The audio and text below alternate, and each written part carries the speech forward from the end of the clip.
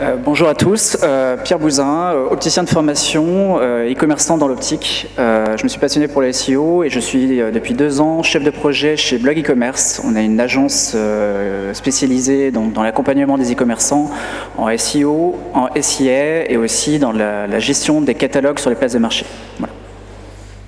Merci. Alors pour ma part, je suis venu directement de Copenhague, je suis basé là-bas, c'est le, siège social donc, de Trustpilot. Donc on est une société donc euh, d'avis clients. Donc c'est quoi en fait? C'est une plateforme ouverte donc sur laquelle vous pouvez tout simplement consulter les avis. On peut être, on peut être considéré un peu comme le TripAdvisor du e-commerce. Donc tout simplement, comme vous allez sur TripAdvisor consulter des avis donc, euh, pour l'hôtellerie et le restaurant, bah, on va faire la même chose tout simplement avec des avis de sites marchands. Donc c'est assez éclectique. Hein. C'est pas limité justement au pur e-commerce. Ça peut être un dentiste, ça peut être un avocat, etc. Du moment que vous avez une visibilité online. Donc même un site vitrine, je dirais. Donc là, ça représente à peu près 34 millions d'avis et 180 000 entreprises euh, à travers euh, le monde. On a des bureaux donc à New York, Londres, Copenhague, donc où je suis installé depuis 7 ans. Euh, pour la petite histoire, euh, la création de Trustpilot euh, s'est faite en 2007. Donc Peter, qui, était, qui est le CEO actuellement de la société, avait un petit challenge. Ses parents commençaient à acheter en ligne. Donc un, gros problème au final pour lui au début. Et ce qui s'est passé, c'est qu'à chaque fois, il lui posait la question est-ce que ce site est un site de confiance? Donc il s'est dit c'est pas possible. Il doit bien avoir une solution qui leur permette simplement de voir que ce site est de confiance et ainsi de suite. Donc en 2007, il crée cette plateforme ouverte tout simplement. Et c'est là justement où il a lancé donc la machine et c'est devenu donc une plateforme donc qui est consultée euh, par 99% donc des personnes dans les pays du Nordique. Et là actuellement, on est leader au niveau euh, donc euh, européen. Donc aujourd'hui, on va vous parler de quelques chiffres justement sur les avis euh, clients, vous montrer un peu quelle est l'importance hein, actuellement sur euh, donc, euh, la toile. Ensuite, donc, quelques aspects sur la recherche Google et notamment l'aspect SEO et SIA, parce que souvent on ne le remarque pas, on ne fait pas attention, on se dit bon les avis clients effectivement c'est intéressant, mais on ne voit pas les aspects qu'il y a derrière de conversion et de visibilité. Et ensuite, on va voir plus précisément donc la conversion sur le site. Donc là, avant de commencer, une petite question. Qui consulte des avis avant de passer une commande? Donc il y, a pas mal de gens effectivement et qui a déjà rédigé un avis donc euh, après avoir fait une commande ou bien simplement par rapport à un service. Donc effectivement, il y a pas mal de, monde qui, euh, qui, consulte. Et si on regarde les chiffres, effectivement, on remarque que 90% des consommateurs disent que leur décision est influencée par des achats, par des, des avis lors de l'achat. Donc effectivement, on va d'une manière ou d'une autre, essayer de consulter des informations avant de passer commande ou avant donc de prendre un service d'une société. Ça peut être en B2B comme en B2C. Donc les deux sont euh, effectivement importants. Parce que souvent on me dit oui, moi je suis dans une stratégie B2B, est-ce que c'est important? Je dis effectivement, c'est important. Auparavant, je travaillais justement pour une, entreprise norvégienne, donc euh, Meltwater News, qui faisait de la, du media monitoring. Donc ils analysaient toutes les réputations des sociétés et effectivement on voyait l'importance donc euh, de la visibilité, de les réputations et des avis clients sur la toile. Et donc ça c'était déjà en en 2009. Donc aujourd'hui, c'est d'autant plus important, effectivement, dans une stratégie euh, où on a énormément de concurrents et, pas mal de scammers aussi euh, sur la toile. Donc ça, c'est un, élément assez important. Ensuite, on remarque simplement que 31% des consommateurs sont prêts à dépenser plus quand ils voient des avis excellents. Donc ça veut dire quoi? Ça veut dire effectivement qu'il y a une importance énorme, mais aussi l'avis négatif est primordial.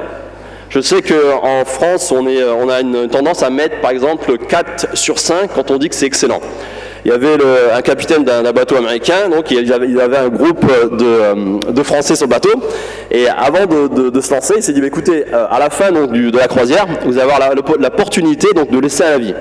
Donc ici aux États-Unis, il dit, ben, nous quand on dit que c'est excellent, on met 5 sur 5.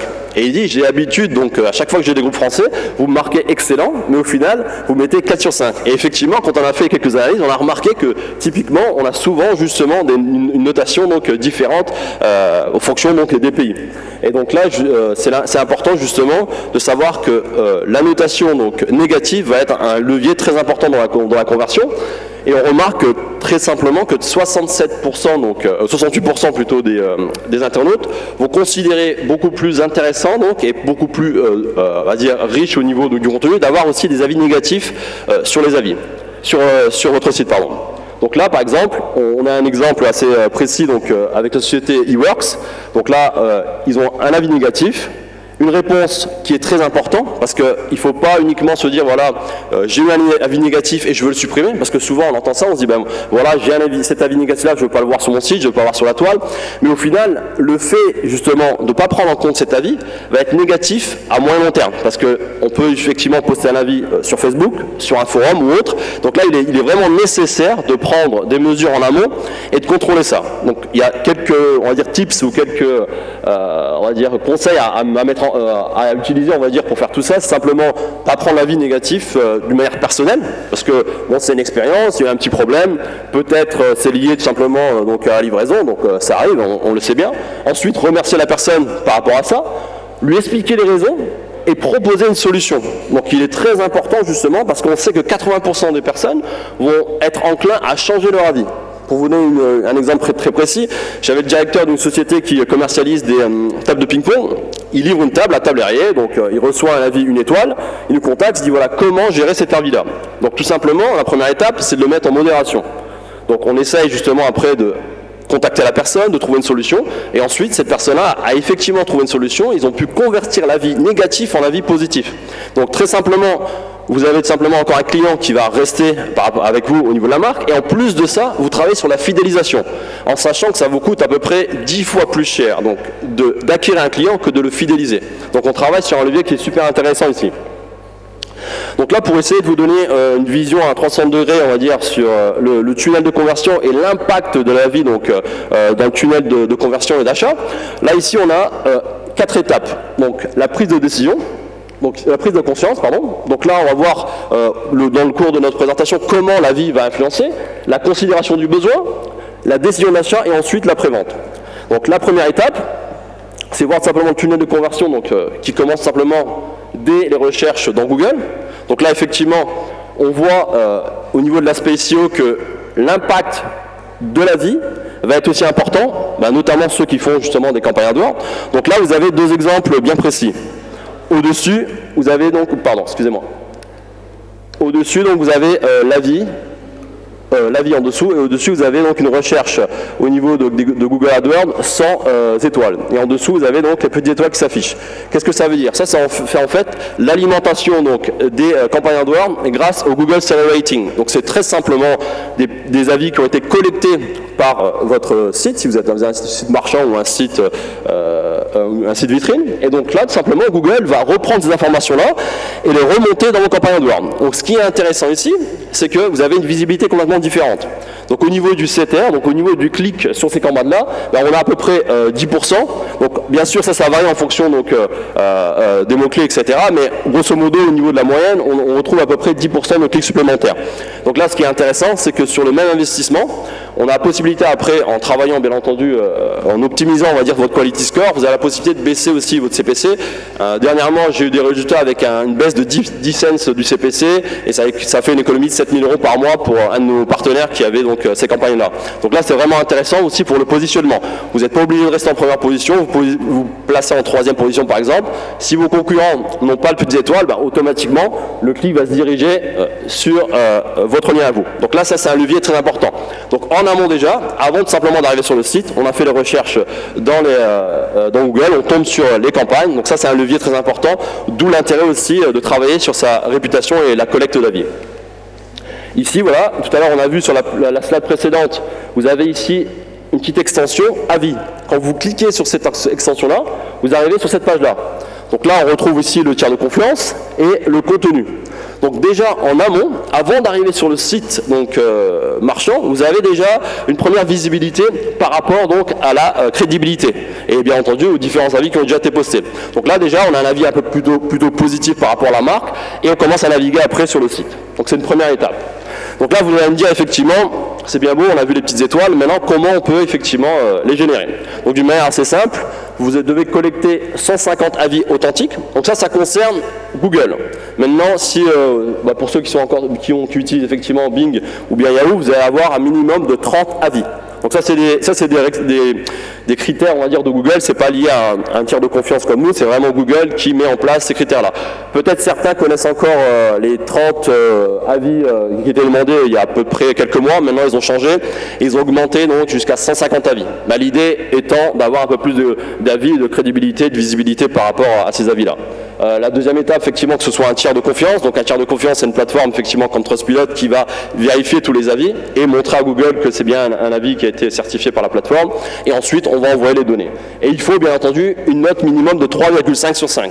Ce qui est intéressant ici, c'est que votre visibilité dans les campagnes AdWords sera ben, automatiquement positive. Parce que si vous avez en dessous de 3,5 sur 5, il n'y aura pas l'affichage des étoiles dans les campagnes AdWords. Donc là, c'est euh, vraiment du win-win euh, dans, euh, dans ce, dans ce cas-là et dans ces stratégies-là.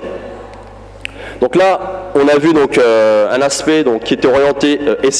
Donc là, il y avait bien, entendu la première étape euh, qu'on avait vue tout à l'heure donc sur le graphe, qui était la recherche en amont dans les, dans les recherches ici organiques et payantes, et spécifiquement payantes. Et maintenant, je vais laisser donc Pierre vous parler un peu plus de l'aspect SEO.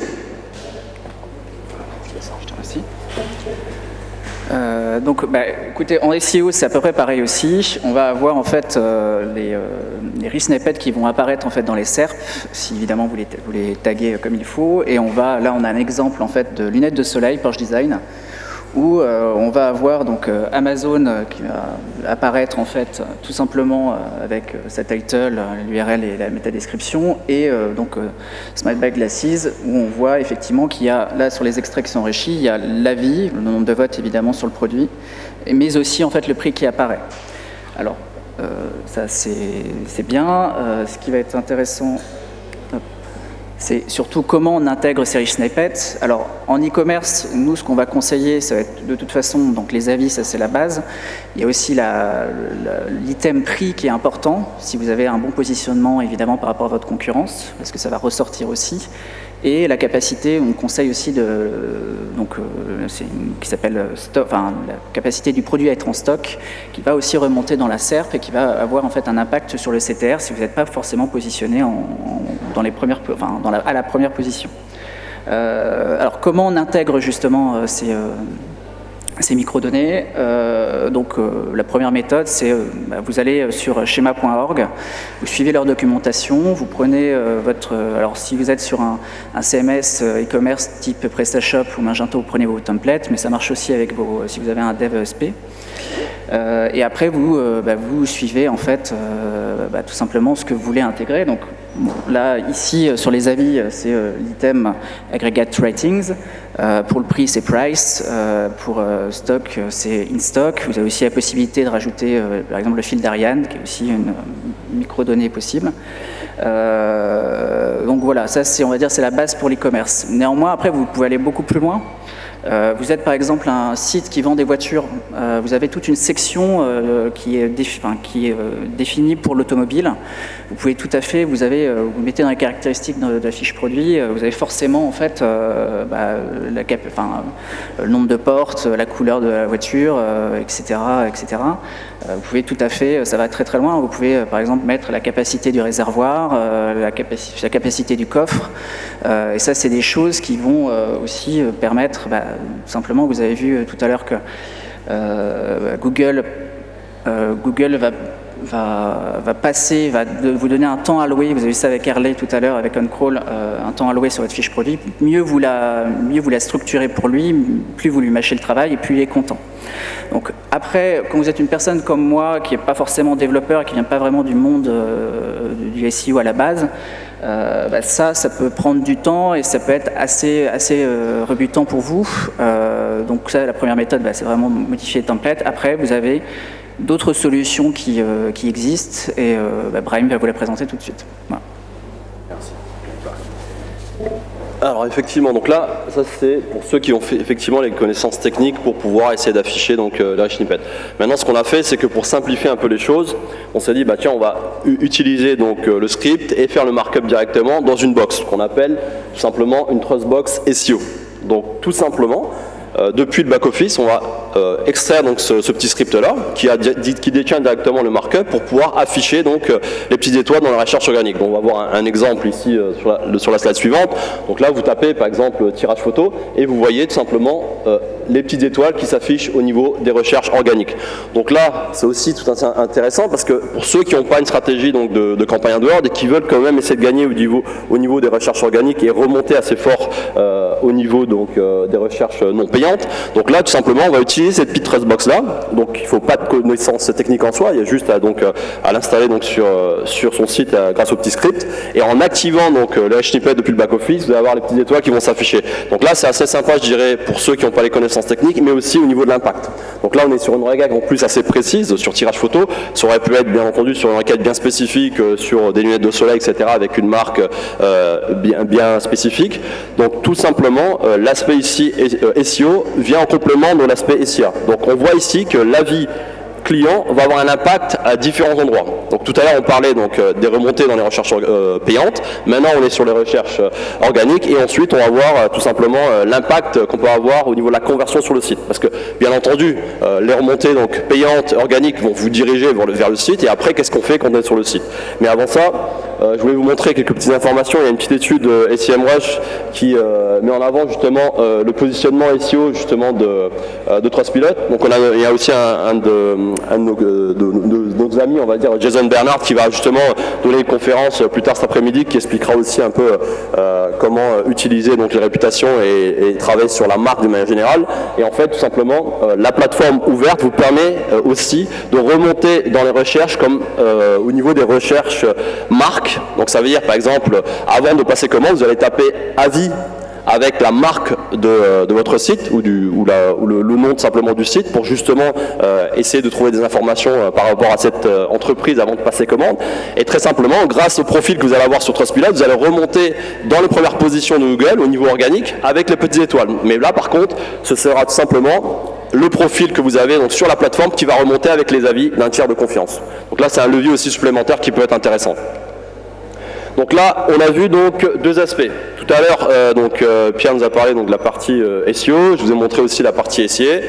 donner aussi un peu bah, pourquoi on doit utiliser les avis. Donc d'une manière générale, vous avez, vous m'avez montré tout à l'heure que bah, beaucoup d'entre vous tout simplement consultent les avis justement avant de passer commande. Maintenant, on veut utiliser tout simplement ces avis-là au niveau de l'intégration sur le site.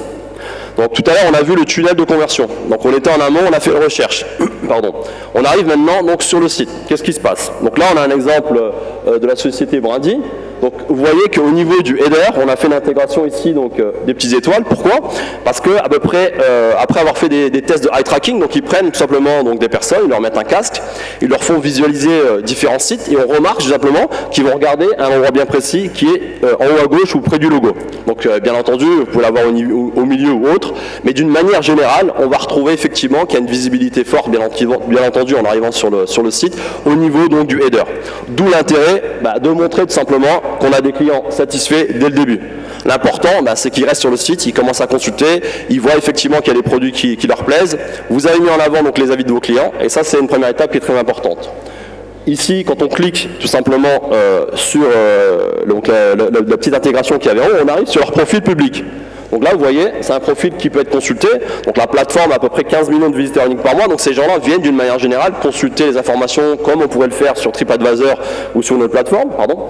Et donc là, vous avez l'affichage de tous les avis. Donc là, il est très important justement d'être transparent à ce niveau-là.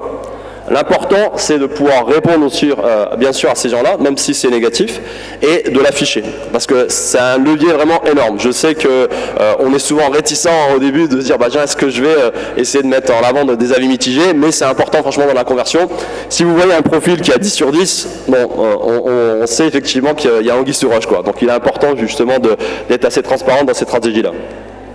Donc là maintenant on a euh, différents types on va dire de, sites. Là on a un exemple assez intéressant, bah, c'est une plateforme qui déjà pense avant tout simplement euh, le lancement de leur, de leur, plateforme, c'est euh, un peu le Airbnb donc de, la nourriture. Vous allez par exemple à New York, vous allez à Rome et vous voulez manger chez l'habitant, eh ben, Foodies tout simplement vous permettre de booker une table chez l'habitant directement. Donc en gros à la place de booker une chambre ou autre, ben, ils vont vous permettre simplement d'aller manger chez l'habitant et ils se sont dit bah tiens on va mettre en avant aussi donc les avis avis avant même d'avoir le site qui va être live. Donc là, ils sont en train de regarder au niveau des intégrations. Donc là, au niveau de la search bar, ils vont faire une intégration donc d'avis au niveau du footer et après il y a une page effectivement où vous avez directement les menus que vous pouvez consulter ben, des différents particuliers et ils vont faire aussi l'intégration. Donc il est important aussi en avant, en avant, en amont pardon, même avant donc le lancement du site, de penser à la stratégie d'intégration qu'on va faire justement au niveau des avis parce que c'est un levier indispensable maintenant au niveau de la conversion. Alors là, un point qui est assez important, tout à l'heure euh, euh, les, précédents euh, intervenants en, ont parlé, ici on a simplement la réassurance, donc là c'est au niveau du footer. Vous retrouvez les moyens de paiement, livraison et bien entendu qui sommes-nous. Donc ça c'est le deuxième point important au niveau de la conversion. Vous arrivez sur le site, vous êtes au niveau du header, vous avez fait l'intégration, on voit les informations, on peut lire effectivement euh, quelques euh, avis, on descend au niveau du footer parce que vous consultez et savoir effectivement bah, qui est cette société. Donc là, on a fait une intégration directement au niveau donc, euh, de la bannière, on va dire, de, réassurance avec le système de paiement. Et là, c'est un point, on va dire, de conversion supplémentaire. Donc il y, avait, il y en a trois spécifiquement, pardon, le header, ici le footer, et on va voir aussi au niveau du panier. Alors le panier, c'est super important et je remarque souvent que beaucoup de gens ne savent pas effectivement le nombre d'abandons qu'ils ont. Donc là, c'est vraiment de l'or pour ces gens-là parce qu'imaginez, tout à l'heure Pierre a parlé du SEO, on a parlé du SEO, donc tout ça, c'est aussi des investissements, c'est du travail.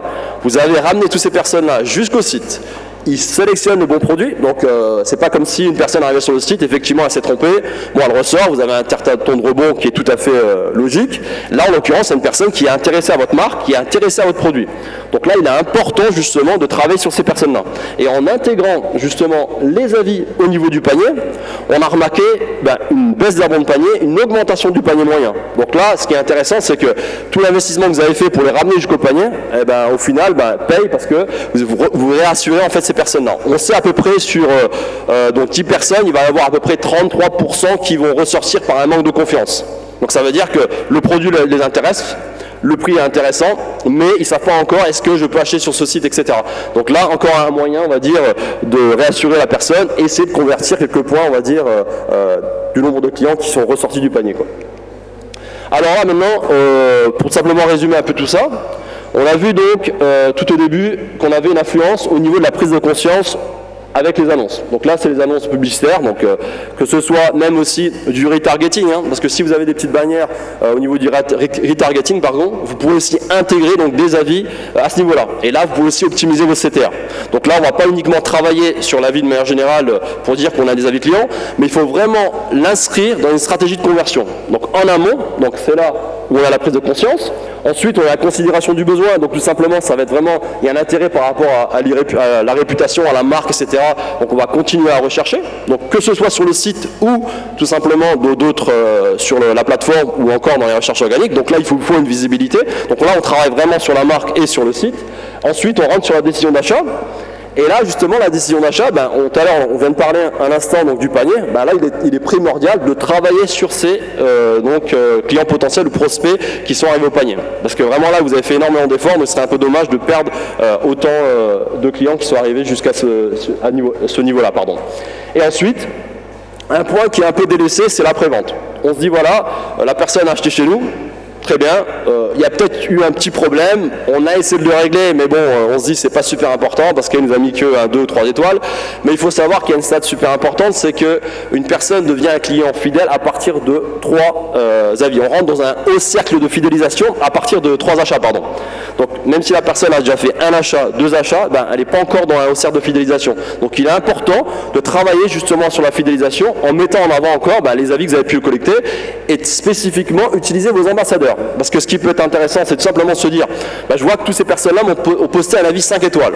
Et ils disent effectivement qu'ils recommandent. Donc autant les utiliser dans une stratégie marketing, peut-être faire une newsletter, envoyer donc ces informations-là, ou tout simplement sélectionner donc les avis euh, spécifiques qui ont laissé 5 étoiles qui parlent aussi d'une livraison euh, rapide, un service au top, etc. et de l'intégrer justement au niveau du panier. Parce que là, c'est vraiment un, moyen, on va dire un, moyen très efficace d'utiliser donc euh, les avis pour travailler sur votre conversion. Je vais voir peut-être que Pierre, tu voulais rajouter quelque chose au niveau du SEO Au-delà du SEO, l'objectif en fait pour vous, c'est surtout de dominer les SERP et aussi, euh, enfin donc euh, c'est des concepts aussi que vous allez voir cet après-midi avec Olivier Andrieux sur la convergence mobile et aussi sur l'autorité de marque avec Jason Bernard. Le but, c'est surtout de coupler en fait tous, ces éléments, donc sur le SIA, sur le SEO, sur, bah, aussi votre, votre réputation, votre e-réputation. Et, et au-delà de ça, par exemple, tout à l'heure, je parlais des, des données structurées. Je donnais l'exemple sur les voitures. C'est aujourd'hui Google les moteurs de recherche, c'est plus des moteurs de recherche, mais des moteurs de réponse. Et par exemple, l'incorporation de microdonnées, ça va aussi euh, bah, faire gagner du temps à Googlebot et derrière, ça va leur permettre, vous allez pouvoir remonter sur les positions zéro plus facilement aussi, sur euh, aussi les box qui vont s'appeler euh, euh, enfin, People Also Ask qui, apparaissent de plus en plus. et derrière, bah, du coup, c'est surtout avoir une, visibilité maximale en fait sur bah, tous les, mots-clés auxquels vous voulez, cibler et intégrer à votre stratégie marketing on, pourra vous donner la présentation si vous voulez, donc euh, ultérieurement, vous pouvez nous laisser vos coordonnées, on pourra également vous envoyer tout ça. Et juste pour finir, euh, là, donc là on parlait donc SEO, SIA. Maintenant, on, pourra aussi inclure donc la stratégie d'avis au niveau du AEO. Donc là, on est sur le Answer euh, Engine Optimization. Donc tout simplement, pour ceux qui utilisent souvent Siri sur leur téléphone, ben, dans la même stratégie donc de recherche au niveau du vocal, ben, on va aussi inscrire justement les avis dans ces stratégies-là. Donc on va aller un peu plus loin. Maintenant, pour ceux qui aussi qui suivent un peu tout ce qui est cryptocurrency, comme le Bitcoin, etc. Là, on travaille, on parle de blockchain et ainsi de suite. Donc là, on est sur un niveau de sécurité encore plus avancé. Et pareil aussi, la, vie va s'inscrire aussi dans ces nouvelles technologies-là. Donc là, on est peut-être un peu en avance pour certains, mais sur d'autres pays, on est déjà en, train de penser justement d'inclure les avis dans ces technologies-là. Donc il faut vraiment utiliser donc l'avis client dans une stratégie assez globale et justement euh, euh, de conversion. Donc merci à tous. Et puis euh, si vous avez des questions, n'hésitez pas et soyez pas timides surtout.